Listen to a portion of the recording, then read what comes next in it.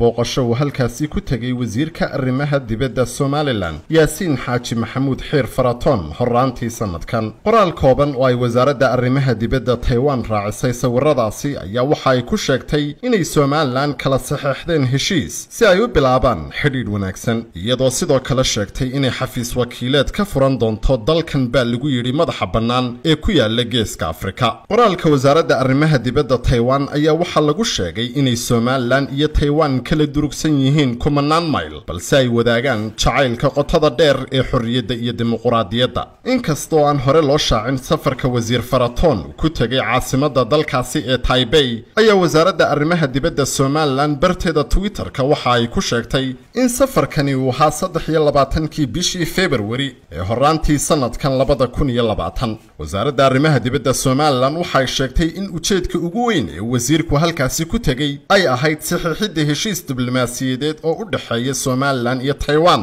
kaas oo lagu bilaabayay xidhiidhada dhanka siyaasadda iyo dhaqaalaha. Madaxweynaha dalka taiwan tai inweng ayaa soo gelisay barteeda twitter sawirro ay kula jirto wasiirka arrimaha dibadda somalilan waxaanay sheegtay inay ku faraxsan tahay la kulanka wasiirka arrimaha dibadda somalilan horaantii sannadkan iyadoo sheegtay inay dhisayaan xidhiidh ku salaysan qiyam wadaag. Xidhiidho uu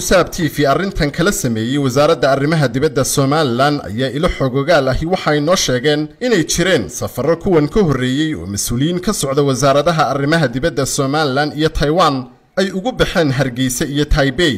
iyagoo sidoo kale noo sheegay inay somalilan xafiis diblomaasiyadeed ka furatay halkaasi. Madaxweynaha somalilan ayaa qoraal uu soo dhigay bartiisa twitter-ka waxa uga mahad celiyey madaxweynaha dalkaasi taiwan soo dhoweynta diiran ee ay u samaysay wafdiga somalilan ka socday. Taiwan waa dal ku yaalla koonfurta qaaradda eshiya kaas oo sida ay muujiyeen tirikoobyo la sameeyey sannadkii labadii kun iyo siddeed iyo tobankiina. Dadka ku nooli ay dhan yihiin saddex iyo labaatan milyan toddoba boqol iyo siddeetan kun afar boqol iyo laba iyo konton qof. Dalkani ayaa sida somalilan aan haysan ictiraaf caalami ah balse lagu tiriyo inuu maraykanku ku khuuqiyo shiinaha kaas oo diidan inay madax bannaani ka qaadato. Dalkan ayaa horumar weyn ka sameeyey dhanka dhaqaalaha iyo adeegyada bulshada iyadoo dakhliga gudahana lagu sheegay sannadkii labadii kun iyo sagaal iyo tobankii hal dhibic saddex trilyan oo dollarka maraykanka ah halka dakhliga shakhsiga ahina uu gaadhay shan iyo konton kun oo dollar.